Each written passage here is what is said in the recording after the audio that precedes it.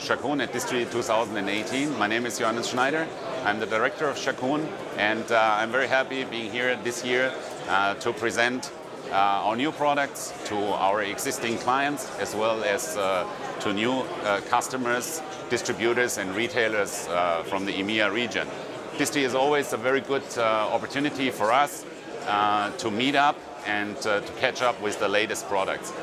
in this year, here on our booth, we are presenting uh, a lot of interesting gaming peripherals, gaming chairs, as well as the, like our latest uh, PC cases. And um, yeah, there is a product which I would like to introduce to you. Um, it is a mechanical keyboard, but not like a traditional mechanical keyboard because uh, this is the most flat mechanical keyboard uh, in the market right now. And um, we, uh, we are showing it here as a TKL version as well as the full-size version. Right now also with uh, RGB illumination.